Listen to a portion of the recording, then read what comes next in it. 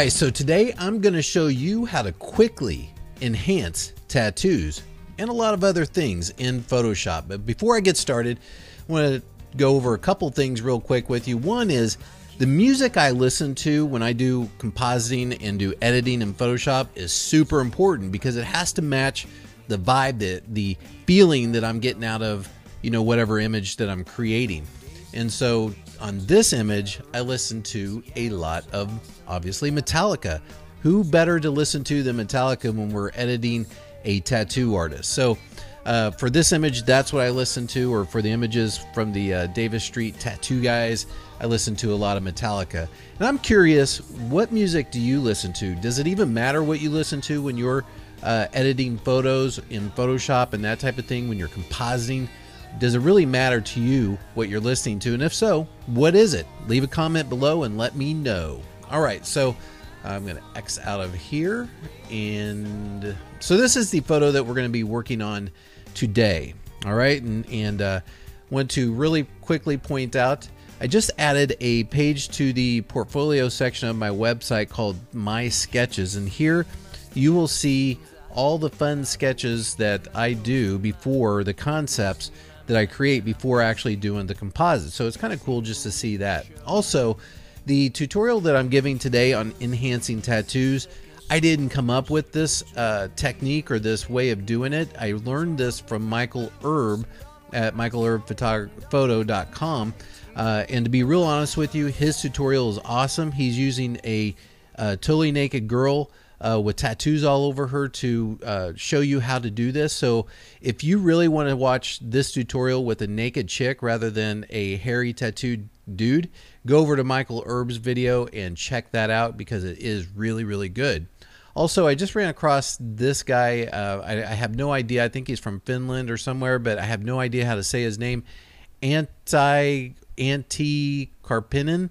Anyway, his work is really badass, and it's at anttikarppinen.com. Uh, I'll leave the uh, link in the show notes below, but uh, really cool stuff that this guy is doing, and uh, just kind of wanted to turn you guys on to him uh, and see what, uh, so you can see what he's doing and, and maybe be inspired by what this guy is doing with his photography. All right, so let's get into today's tutorial. Exile that and bring my Photoshop up. All right, so this is the image that we're going to be working with.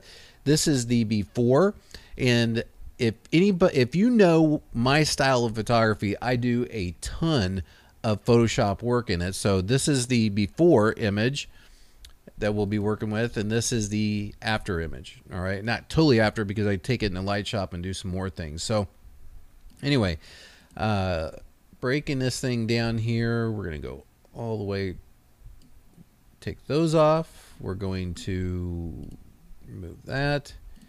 And so here is the big head look. Toned him down just a little bit. Added some shading and shaping to his body because I like uh, giving it a little bit more three dimensionality.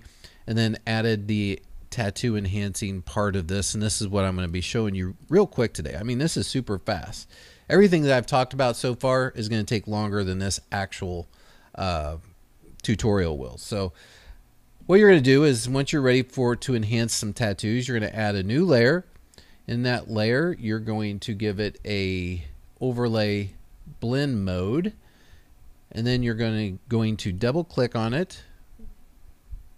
And then in the blend if, and I don't know a great deal about this. Again, you know, I just kind of went with what I was showing in the tutorial, but what you're going to do is push Alt or Option, click this left uh, little tab here, bring it all the way over. And then for the right tab, I usually bring it to about 180 or so. Uh, of course, you can darken it even more. I bring it to about 180 and then click OK. So that gets you set up with this layer on what you're going to do. Then you're going to come in here and grab your brush tool, uh, I like to bring this flow up to 100% and then I'll bring this down to 40-ish percent. Uh, bring it to black. And let's see here. So we got our black and then I give it a hardness. You know, I like doing everything pretty soft edges. So, and then just come in here and paint in the tattoos. And so you can see how that automatically just enhances those tattoos on him and really brings them to life.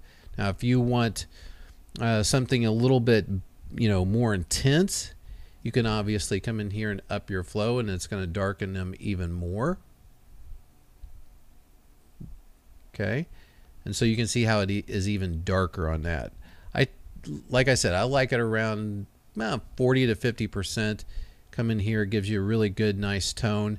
And then if you really want to double that, and then if you get too much here on the edge like this, this is a little too black for me. You put a layer mask on it, uh, grab your black again, and then I don't know, 50% or so. And then I like it with this, I'll feather it a lot. And then just come in and just brush out the edge there like that. And then that'll bring back in that detail and the really dark areas. And then you can just up this, bring your hardness, make it a little harder, and then edge, and then you can really just kind of get rid of the the black there on the edges that we were painting in with our technique here. And so that's really all you have to do. Make sure you get it off his skin if you want it off his skin there. Anywhere up here if it's on his skin, just tone that down. And then if you want to uh, make that enhance that even more, you can actually double it, and you have a even you know more intense tattoos or darker tattoos. If you don't like that, then you can drop that opacity down, however you want, and just play with it. You just do whatever you want on this. You, I mean, this is up to you. What you like, uh, what makes the tattoos look the best for you, that type of thing. Also, you can come in here. We'll just do another quick layer here and then bring this down, bring it over to 180-ish or so, bring the blend mode to overlay, and then you can come in here and, let's see here, I'm to bring this down to about 20, and then you can come in here and paint, you know, like the stencils here that are on the wall, and you can get those to pop out really nice as well. If you want Jesus to show up a little bit better, you can do that one. Um, so you can go in here and do anything that has, you know, dark details and bring those, you know, to life with this type of technique. You can bring that little belt to life a little bit more. And so you can use this technique for a lot of different things here on uh, a photo.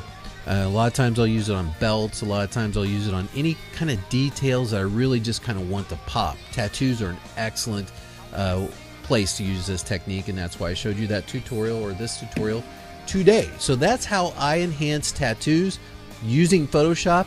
Go out, try to try your own ways, you know, try to, you know, change the levels on this and, and you know the flow and all that kind of good stuff. See what you come up with, see what works best for you, what you like the best and share that with us because I love seeing what work you guys do. Share with me through email. You can contact me at jason at photillustrator.com.